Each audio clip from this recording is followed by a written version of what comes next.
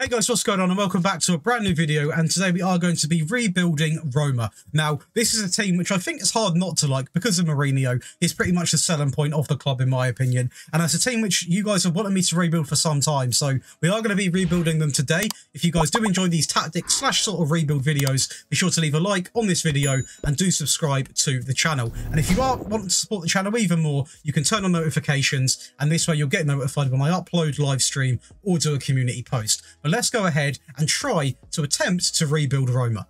So, this is going to be Roma, a club that is quite stable, to be honest with you. Our aim is to try and win the Champions League. Well, it is to win the Champions League. We will keep going, whether that takes us two seasons, seven seasons, ten seasons. We will be rebuilding Roma until we have won the Champions League. And as you can see here, they've got some good reputation. They've got good training facilities, good youth and good youth recruitment. They have got some good players as well. In terms of the bank balance, there isn't a ton to work with in the first season, but I do, I do kind of remember just from playing with them alone that there is a little bit of money to play with as you go on through the season. So we're going to kick things off by saying this. The first season is fairly limited. We've got 12.7 million and a lot of that is going to be probably converted into wage budget at some point to try and get some of these players to stay because there are some players that have got short contracts and whether they want to stay or not is a different matter. But this is going to be what we are going to be working with. And to do this rebuild, by the way, we are going to be using a completely it's an incredible 4231 inspired by Ten Hag, which GYRFM did create. And trust me, it's a good one. So there will be a download link to that in the description and also to GYRFM's socials or Hood Gaming's, depends what channel it's on. But trust me, this tactic is an incredible one. But this is going to be the team we have got. And to be fair, there is talent all over the, I say talent, there's a lot of experience more than talent. Obviously, we've got Raul Patricio in goal, who will be needed to be replaced after a couple of seasons probably season because he, he's a good keeper, but he's just obviously a little bit older. We've got Spinazzola, Celik and Vina on the left back positions. In my opinion, more than good enough for the first sort of two to three seasons. If we go past that, we might need to look to improve. We then have Chris Smalling, Ibanez and Mancini. Again, three very good centre-backs. Whether Smalling will want to stay is a different matter, but I'm going to try to get him to stay because his three and a half star ability is quite a good centre half. And, you know, I'm a manager where I don't really want to sell anyone unless I physically need to. Right back, we've got Karsdorp with and Celik. Obviously, Karsdorp, not one of Mourinho's favourites in real life, but I am going to give him the chance to perform in this team and see how he does. We then have the two in midfield. We've got Pellegrini, Wijnaldum and Zaniolo. Zaniolo will definitely not be playing that deep.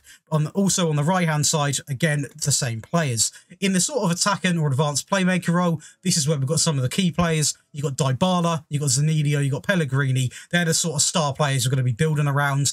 On the left-hand side, um, possibly, definitely, will definitely need some improvement. As you got Wijnaldum, who's not really comfortable, in my opinion, to play there. I wouldn't really like to play him there. And um, we might have to at some point. We've got El Shaarawy, who is getting on, and Zalewski, who in my personal save really did disappoint. But hopefully, he might actually turn up for this one.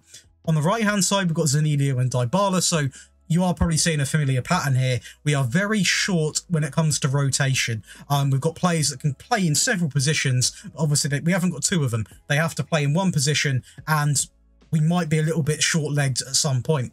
Going forwards, though, we have Tammy Abraham and Dybala. So, again, good striking options. But as I keep saying, the same patterns do arrive. Now, this is missing some players because, obviously, in striker, we also have Belotti, um, who I actually am a big fan of in this game so he will definitely be getting some game time. But overall, the two players we are going to be building around is going to be Tammy Abraham, which I'm pretty sure you could guess because he's really good in this game, a great player in real life, and he is only 24.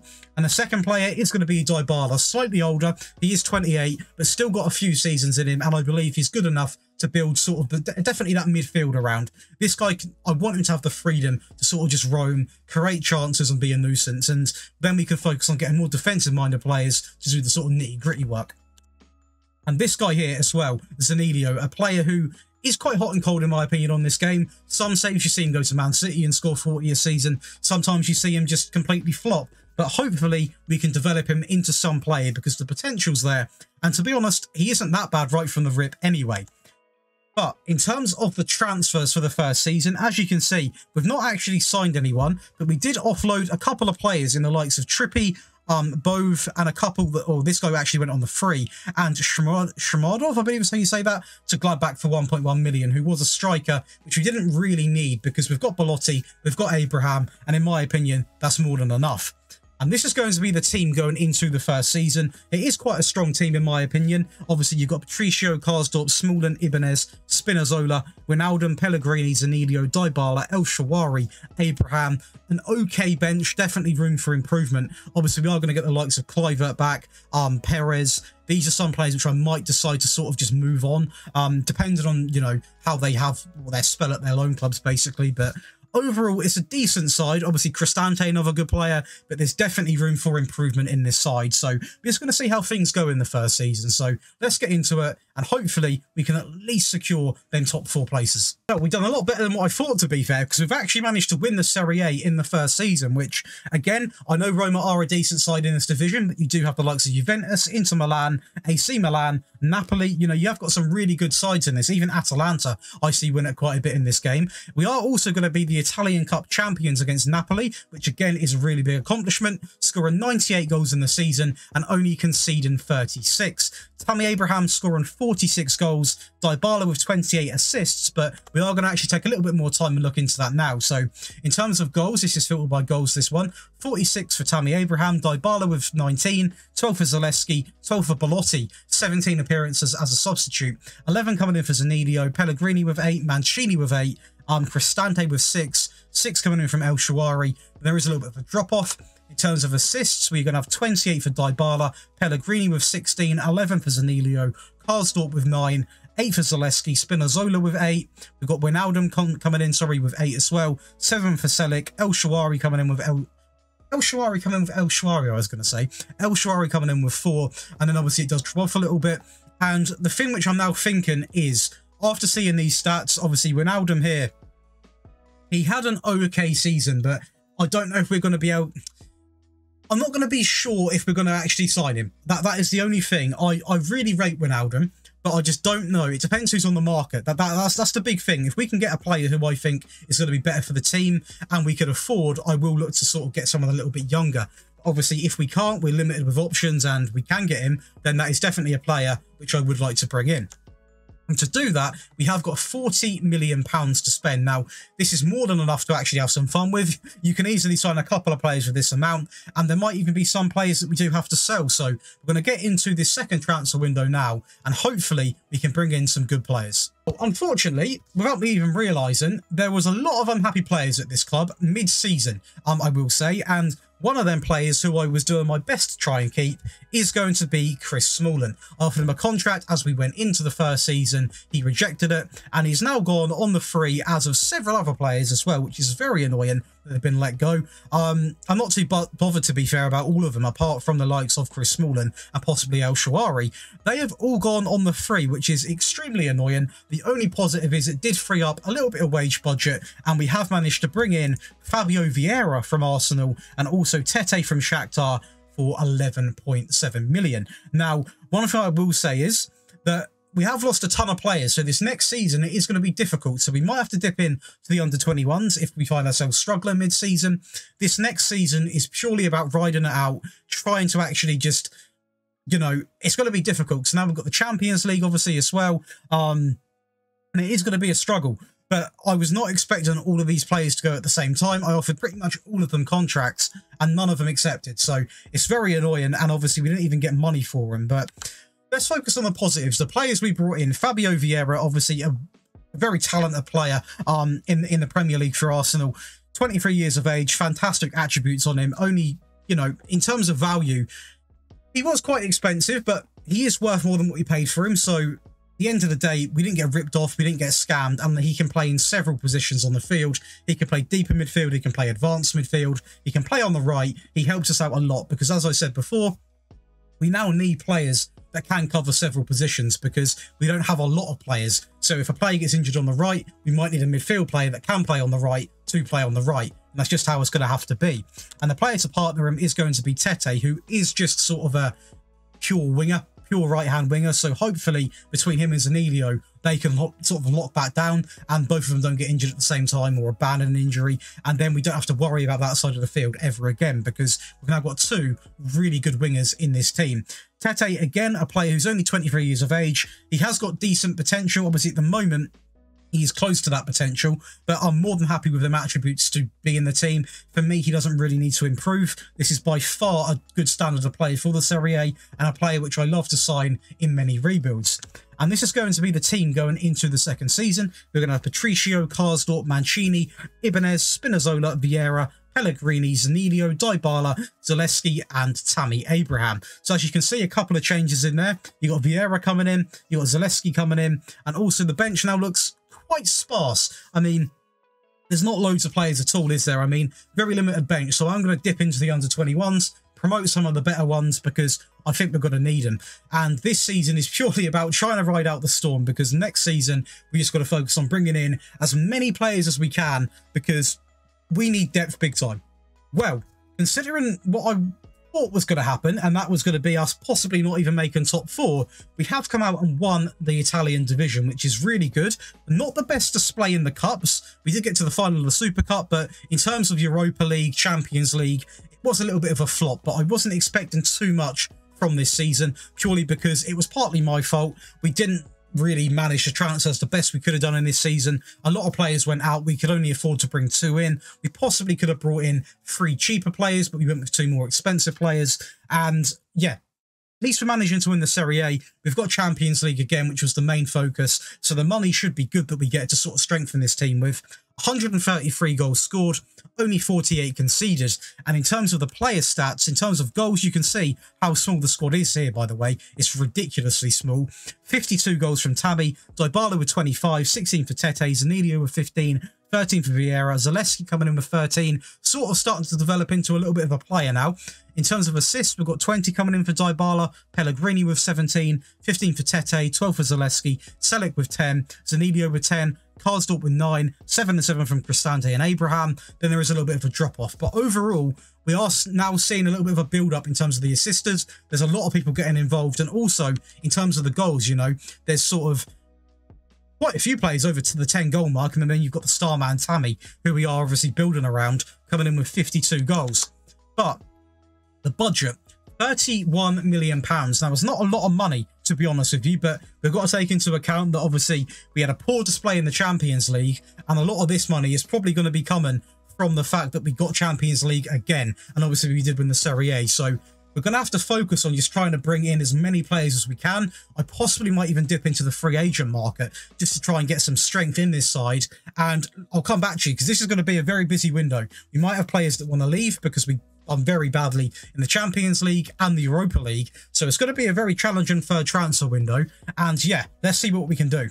So, this is going to be the third transfer window, but I want to ask you a favour quickly, guys. If you are enjoying the video so far, be sure to leave a like on the video, do comment below what rebuild you want to see next, and do subscribe to the channel and turn on notifications. But let's break down this transfer window. So as you can see, there's business in, business out. We've let go of a few players in the likes of Vina um, for 17.2 million, which by the way is a very good price. A few more players went on the free. Raul Patricio to Benfica for 1.4 million. And we have done a lot of business and a lot of free business as well. I'm very impressed with the business we've done actually. We've spent a total of 57 million and got several players on the free. So we've got um, Antonio Blanco from Real Madrid on the free. We've got Callum Hudson-Odoi, a very exciting player from Chelsea on the free. We've got Antonio Silveira from Alaves on the free to replace Patricio. We've got Lucas Hernandez from Bayern on the free. We've got Andres Schraudrup from obviously FC Nordsjælland. So you say that for 4.9 million. His contract was expiring. We've got Tabido coming in from Nice for 40 million. We've got Lodi coming in from Atletico Madrid for 16 million. So we've replaced the players that went out and replaced them with better standard of players. The first player is going to be Blanco, and this guy will just help bolster midfield, whether that be rotation or eventually starting, but he's worth about £40 million, and we've got him on the free, so you can't really complain. Very balanced midfielder and a player that should get into this team. To partner that, we've got Callum, Callum, sorry, Hudson-Odoi, obviously previously of Chelsea, got him on the free, around a 50 to 60 million pound player. Fantastic attributes, apart from the finishing, which I will be trying to work on with him. But Again, a very dangerous winger for this division. As you can see, already a leading Serie A player, and he could improve slightly even on top of that. We then go over to Antonio Silveira. Now, this guy, to be honest, I needed a keeper, and it wasn't just because he was free. This guy's actually a really good keeper. Obviously, three and a half star ability, a little bit better than what Patricio was. Unlikely to improve, but for now, he is definitely more than good enough. We then have Lucas Hernandez. The only downside to this guy is he requires a lot of money per week, but his experience, he's played for some great clubs, obviously Bayern, Atletico, um, and he can play two positions, fullback and centre-back. His attributes are really, really good. Already a lead in Serie A player. Obviously, he's not going to improve too much on top of that because he is 28, so he is pretty much at his peak, but on the free, you can't really complain. Then go over to this guy, and I don't even really need to talk about this guy because everyone knows who he is. He's pretty much everyone's go-to signing on this game. And to be honest, he wasn't really a player which I was going to sign on this rebuild, but I saw him available for that price tag. Obviously, his contract was coming up, and I was like, do you know what? I'll offer a very cheap price, and they accepted. And he is going to be a player for the future obviously he's not probably going to get into the team right from the bat because they filter by the best star ability. But in my opinion, for that price tag, 4.9 million was it? You can't really go wrong then go over and get Tobido. We needed a centre back. We needed someone dominant. We needed someone experienced. Obviously, he's played for quite a range of clubs already at the age of 24. Um, don't know why that is. He's obviously been hopping from club to club. But tackling 16, pace 16, reasonably tall, already a lead in Serie A centre half, and also close to his full potential in the sense that obviously he can get to the four star. Um, is there really a bad side to this guy? Not really. I mean, he'll instantly get into the team, probably partner alongside Ibanez, I imagine, and that'll be a very solid centre-back partnership. And we then finish it off with Lodi. And this guy, again, 26 years of age. Obviously, he can play as a winger. He definitely won't be playing as a winger in this team. But a very solid um, fullback. Obviously played for quite a few clubs as well. The, the real stand-up one obviously being Atletico Madrid, Nottingham Forest as well. But he is a very good left-back in terms of attributes and by far good enough to get into this Roma side. And this is going to be the team going into the next season. We're going to have Silveira, Karsdorp, Tobido, Ibanez, Lodi, Vieira, Pellegrini, Tete, Dybala, Zalewski, and Tammy Abraham. And now the bench is looking really good. They're so much stronger. You've got Mancini, Hudson Odoi, Zaniolo, Celik, Cristante, Schroldrup, Hernandez, Blanco, Perez, um, Kumbula, sorry, Justin Kluivert, who again has got a chance to display some talent on that left-hand side. We've got a really, really strong squad now and very confident going into the next season. So let's get into the next season and see exactly how we do. So, the next season has been completed, and again, we are now free for free, I believe, on Serie A titles, so that's always impressive. We managed to get to the semi-finals of the Champions League, which is definitely a significant improvement, the semi-finals of the Italian Cup, and also won the Italian Super Cup, scoring 129 goals and only conceding 27. In terms of squad stats, we've got 57 goals from Tammy, 24 for Dybala, 14 for Zaniolo, Zalewski with 13, 8 for, eight for Hernandez, sorry, eight for Tobido, Tete coming in with eight, six for Ibanez. The assisters of the team, we've got 24 for Dybala, Pellegrini with 15, 13 for Zalewski, 12 coming in for Vieira, Tete coming in with 11, 11 for Lodi, 6 coming in for Karsdorp, then a little bit of a drop off. So in my opinion, I would like to see a little bit more goals coming in from different areas of the field. Um, because at the moment it's going to be Tammy and Dybala sort of carrying majority of the goal load and also the assistant from Dybala as well. And I would like a little bit more coming in from Zaniolo and possibly Zalewski. Hopefully that will get delivered and we do see a little bit more of an impact from them players on the wide areas of the field. But if not, we are still winning stuff. But obviously this is not going to finish until we win the Champions League. So we have still got some strengthening to do. That's exactly what we're going to be doing with this budget. 50, 51 million pounds. Now, this is quite a significant amount, and it's probably because we've done very well in the Champions League. We won the Serie A and obviously the Italian Super Cup, and we are starting, you know, racking up quite a few trophies now. We've got a very good side, and we are going to have to be careful about picking players to go into this team now because we now run the risk of over signing players, if that makes sense. So you could easily go over, sign a ton of players, and maybe just cause issues, to be honest with you. So the rule is we're either going to be signing people that can get into the first team or are significant wonder kids that have got a ton of potential because we only want players now that can strengthen the first team, really, because, you know, the team we've got at the moment is is doing really well anyway. So this is going to be the fourth transfer window, I believe. And do you know what? It is really, really good what we've done here because we've, we've sold two players, both to mines, by the way, who were aging, weren't too happy. Cristante for 34 million and Volar for 4 million. So 38 going out, 134 coming in. Obviously, a lot of that in installments. And we have gone, we've signed Raspadori from Napoli for 54, Bazunu from Southampton for 25 and a half, Zakarian from Moscow for 40, and also Hannibal for 45. And these players, I do believe, could be enough to push us to that to that final sort of area, whether that be a Champions League final or winning the Champions League. I can't tell yet whether this is going to be enough to win the Champions League, but I know just from the players we've signed, we definitely have a better chance as now we have a fantastic backup striker slash first team. Probably a backup striker to start with, but he's just so good, this guy. And when I saw him available on the market, I had to get him. Obviously, 25 years of age, so he's not like a complete wonder kid, but great finishing, good pace, and he's already a leading Serie A striker. And the fact that we've now got Tammy and him gives me full confidence with the goals. We then have Bazunu coming in, who's a, let's say, a striker, a goalkeeper I've never signed before, I don't believe. Quote me if I'm wrong, but a very, very good keeper, to be honest with you. Tons of potential, already four-star ability, and I like signing players I, I, don't traditionally sign. And when I saw him on the market, he was one of the goalkeepers that were sort of available and was better than what we had, and also wanted to come. Obviously, played for some a wide variety of teams, Shamrock Rovers, Rochdale, City, Pompey, Southampton, and now he's coming to Roma. So he's been in England sort of that sort of area all of his life, and now he's coming to Italy. So hopefully he fits in well, and hopefully he does well. We then have Zakarian, again, a very, very, very good attacker midfield player, 22 years of age, valued at around 70 to 77 million pounds. Good finishing, good bit of pace, good off the ball, good vision, good technique, a very tricky sort of attacker midfield player. And just because Dybala is getting a little bit older, this guy can step in and not put as much of a strain on Paulo Dybala. And then we have Hannibal. And this guy is absolutely incredible in this game, valued at around 60 to 70 million pounds very good attributes, very well rounded, 22 years of age, and again, just a player that is going to strengthen that midfield role. Whether he fits in right away is I'm not sure if he's going to get into the team right away, but I'll tell you one thing, he's definitely got the potential and he's definitely got the drive to fight for a first team spot.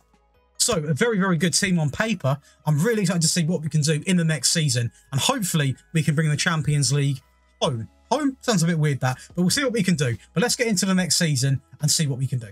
So, the last season has been completed, and I say the last season because there is a little surprise for you guys. Now, if you have enjoyed the three builds so far, be sure to leave a like on the video, and please do subscribe to the channel. We're absolutely killing it at the moment. We've just hit 5k. I looked about a minute ago, we're already on 5.2k. What is next? We're absolutely killing it, so any support is appreciated. But we have done the quadruple with this team. We've won the Champions League, we've won the Serie A, we've won the Italian Cup, and we've won the Super Cup. A very, very convincing, very convincing season. I'm very happy this has finally been completed because as much fun as it was, I was almost wondering how many seasons this possibly could take because we still had Karsdorp at right back, who was going to be the next player to be replaced. But overall, a very, very good season. As you can see there, we only got given, it was 15 million, actually a little bit more, 24 million, because we did spend quite heavily last season, I imagine. But 116 goals scored, only 21 conceded. If we go into the squad, the goals, we're going to have 60 coming in from Tammy, 30 for Zakarian, and what a season this was from him, by the way. 21 for Raspadori, 14 for Hudson Odoi, 11 for Tabido, 9 for Dybala, 8 for Tete. Assists, we've got 18 for Raspadori, 17 for Pellegrini, 17 for Karsdorp, which is ridiculous from right back. Maybe we weren't going to replace him. 14 for Zakarian, Tammy with 13, 13 for Dybala, and 11 for Hudson Odoi. So we have had a severe amount of success with this club. I mean, we have won five Serie A titles. We've won a couple of the Italian Super Cups, the Italian Cup as well, the Champions League. Pretty much everything we possibly could win, we have won with this team. And we'll have a quick look at the data hub for this season.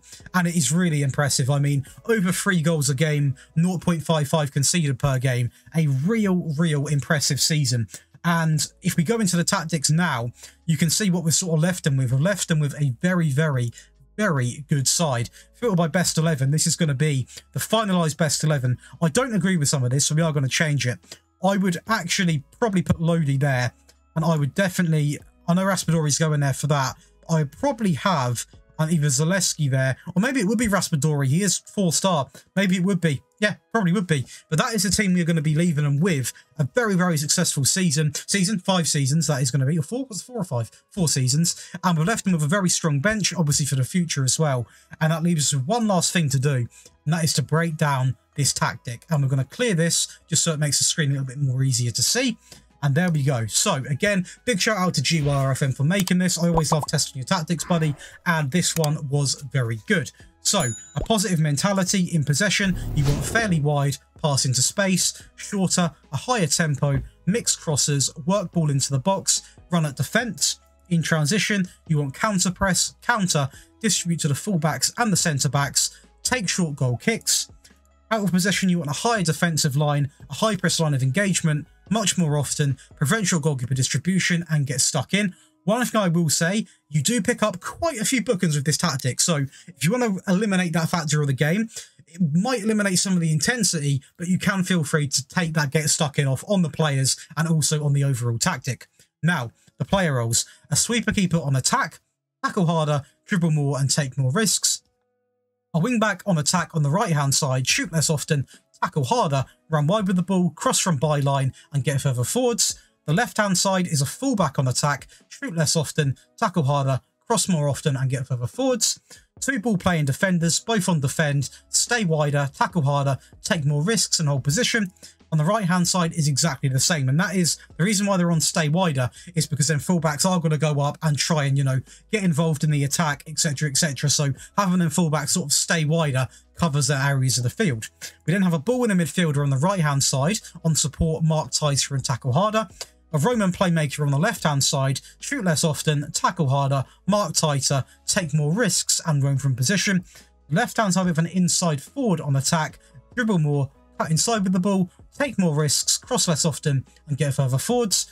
On the right hand side, we've got an inside forward on support, tackle harder, dribble more, cut inside with the ball, take more risks, cross less often, and get further forwards. And in the central area, we've got an advanced playmaker on attack, tackle harder, shoot less often, dribble more, and take more risks. And to finish this amazing tactic off, we do actually have a target forward player. Obviously, this is now going to be the Weghorst to the team on shoot less often, hold up ball, and dribble less. For some reason, you don't have a striker that can play this, or you, you haven't really got the tools of strikers, you can go, and I would recommend having an advanced forward in my opinion.